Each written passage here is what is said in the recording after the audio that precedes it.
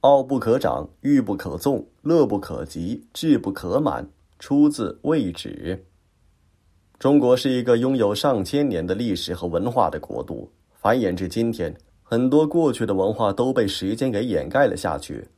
为了让曾经辉煌的中华文化再度出现在人们的视线中，在近代兴起了考古这一学科。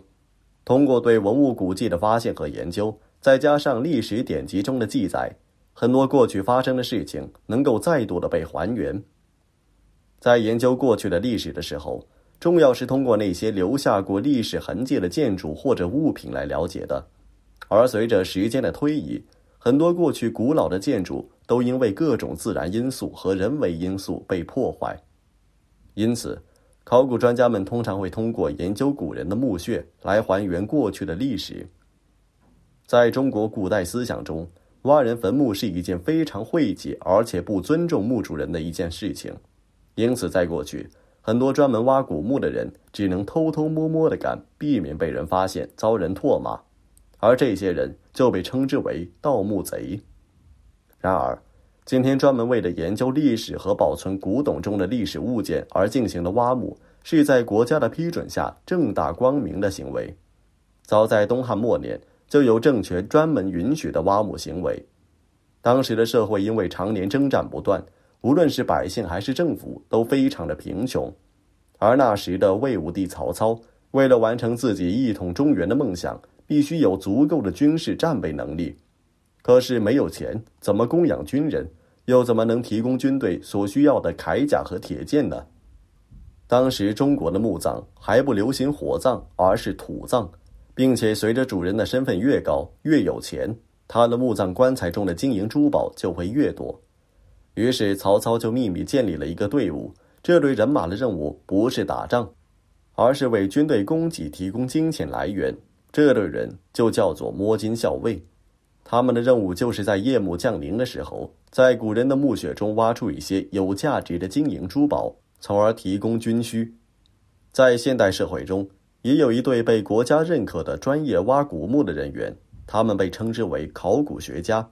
和魏武帝的目的不同，今天对古墓的发现和挖掘，是为了让历史更加的完整，让中国历史文物得到更好的保存。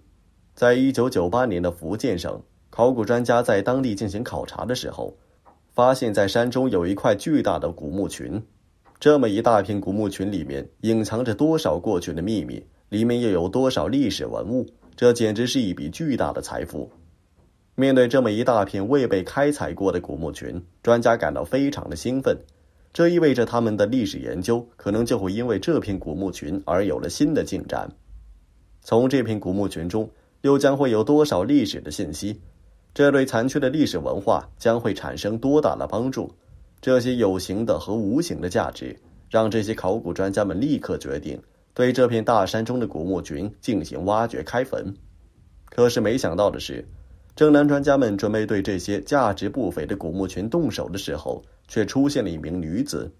这个女子就叫做银娥。这名名叫许氏银娥的女人，并不是无端阻止专家们的开墓行为，而是因为许氏银娥对这片古墓群有着保护她的责任和使命。为什么一个普通的平民女子却有着这么一个保护古墓群神秘的责任和使命呢？原来，这个名叫许氏银娥的女人其实是这些古墓的后人，而这些古墓的真实身份也令人十分的惊讶。根据这位许氏银娥女子的描述，这些古墓群其实是历代西兰人的墓葬，而他们的祖先竟然就是西兰世子，自己的任务就是看护好祖先的坟墓。保护他们不受到外界的侵扰。听了这位名叫许氏银娥女子的话，专家们立刻放下了手中的工具，决定尊重这位西兰世子后人以及葬在中国的这些西兰后人。当时的许氏银娥非常激动，生怕由于自己的过失，导致了守护了好几代人的墓穴就这样被破坏。为了让专家们相信自己所说的话，这位西兰后人许氏银娥还拿出了自己家的族谱。通过族谱可以看到许氏家族这些年来的发展历史，也让专家成功的相信了自己。虽然许氏银娥只是一位普通的农村妇女，但是一直没有忘记自己父亲交代给自己的责任。如今为了保全祖坟，许氏银娥也顾不得隐藏自己的身份。知晓许氏银娥身份的网友们纷纷称这位女子为西兰公主。为什么西兰世子的坟墓和后人会留在中国的福建呢？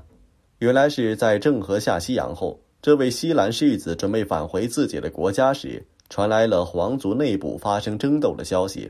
而西兰世子当时在中国，因此逃过那次激烈的皇族斗争。听到消息后的西兰世子决定就在中国定居下来，以免回国后又再次的发生争斗。就这样。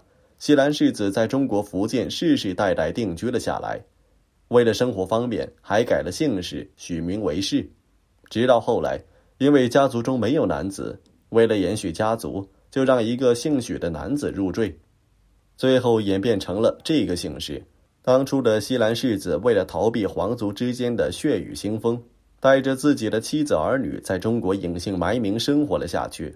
虽然生活过得不如在皇族时候的养尊处优，但是那些曾经的勾心斗角和尔虞我诈也一起的消失了。在中国，西兰世子能够生活的平和且幸福，这对西兰世子来说已经非常的满足。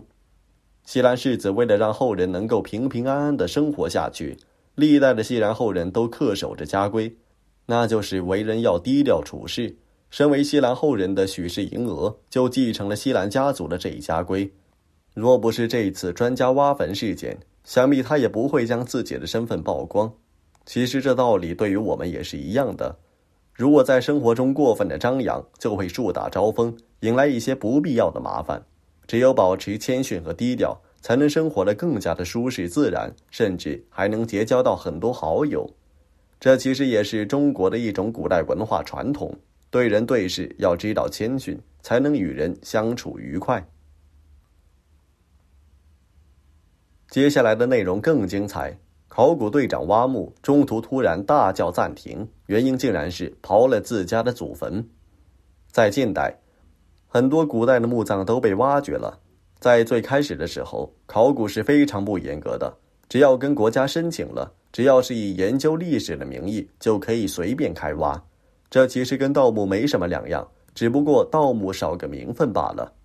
不过到了今天，考古和盗墓已经彻底的分道扬镳了，而促成这个现象的人就是郭沫若，因为他打着研究历史的名义挖掘了万历皇帝的墓，破坏了定陵，所以自此之后，考古队也不是能随便就考了的。比如如今在一些村落里，或者在施工现场。人们发现了墓葬，考古队才会去。他们不像以前一样可以自己寻找古墓了，而且如果是古墓群或是帝王墓，只要遗迹达到了百分之七十以上的完整性，国家是不允许考古队进行挖掘的。所以，如今对历史的尊重已经大于了对历史的研究。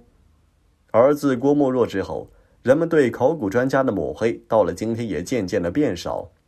而在两年之前。中国的考古界发生了一件趣事，在湖南长沙，一个地产商正在挖地基，结果一块块非常完整的大石头都被挖了出来，石头上还有精美的壁画。虽然施工的工人们文化水平不是很高，但是也知道这是挖到死人家了，于是就赶紧联系了当地的文物管理局。于是，一个名叫王文元的考古队长带着他的考古小队来到了施工现场。在经过了勘察之后，这个墓葬符合被发掘的标准，于是考古队员们纷纷的忙碌了起来。可是就在人们都忙着研究的时候，王文元突然大叫暂停，就好像发现了什么很恐慌的事情一样。因为考古这个事情本身就有些吓人的，而王文元这么一声大叫，也吓了众位队员停下了手头的工作，都来看这位队长。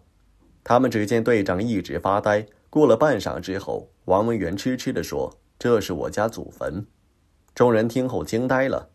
原来这墓葬的主人名叫王世明，是清朝康熙年间的命官，而王文元的家谱上也记载过自己老祖宗的这个事情。